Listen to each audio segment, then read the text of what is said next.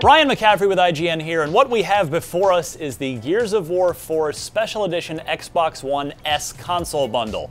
All this stuff here is $450, but it gets you a good bit of stuff. Uh, the 2 terabyte Xbox One S, which actually apparently is pretty well sold out in the standard non bundled white version, so this is about the only way you can get the 2 terabyte model anymore. You can see the the, the laser etched these burn and claw marks into it, which they're actually there. You can you can feel them. So that's pretty cool as far as special edition consoles go. You've got the the Crimson Omen, of course, uh, on there as well. On the back, more Gears of War logo action from the uh, the new the new game from Gears 4.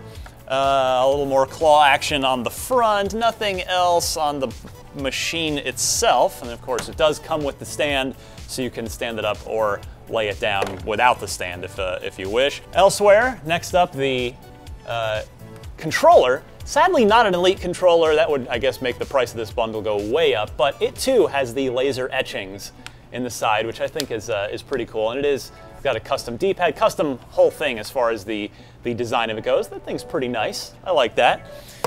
You do get the Ultimate Edition of the game, which has all the software, the Season Pass, the whole extra in-game packs, uh, the Zombie Dom skin, all that stuff. It's all in there. You've got your HDMI cable, power cord, 14-day uh, Xbox Live trial, and just this little pamphlet, which is nothing more than telling you how to set up your console. So, uh, decent package here.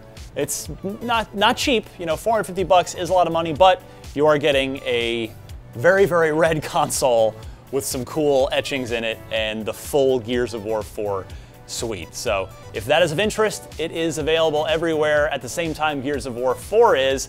So for everything Gears of War 4, we've got the review coming, we've got all sorts of gameplay coverage, you name it, we've got it. For all things Gears of War, keep it tuned right here to IGN.